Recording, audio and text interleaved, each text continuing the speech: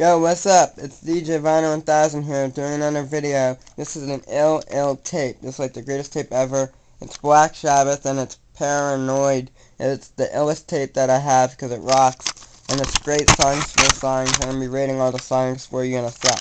The song 1 is War Pigs. I give it a 7 out of 10. Song 2 is Luke, Luke Walls. I give a 7 out of 10. Paranoid.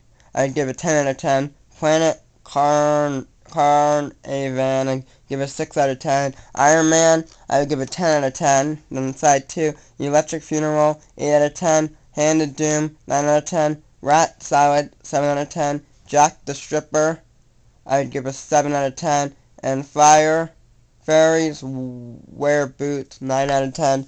And it's a 1971 Warner Bros. Record Inc. tape cassette and it's just a great tape cassette. I would give this album a 10 out of 10, and I give it 4 stars because it's just an amazing tape, and there's nothing bad about it, and it's just a great tape cassette.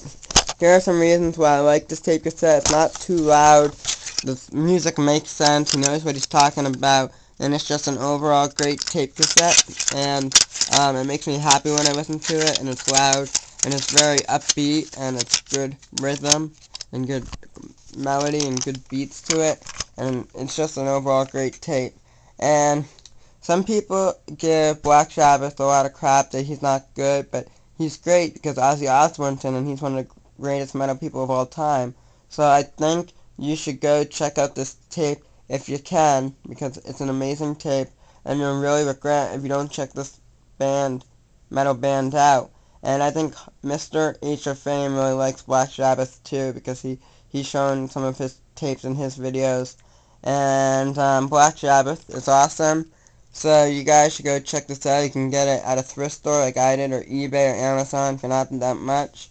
And it's just an overall great tape.